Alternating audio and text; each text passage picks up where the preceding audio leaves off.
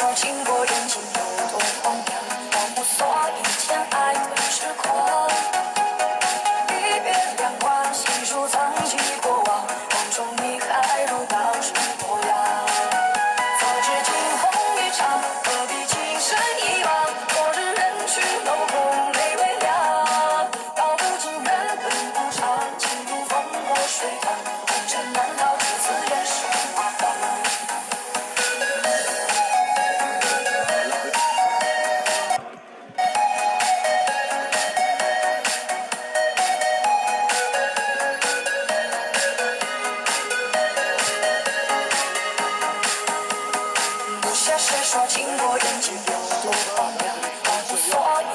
And he's absolutely cruised through this match.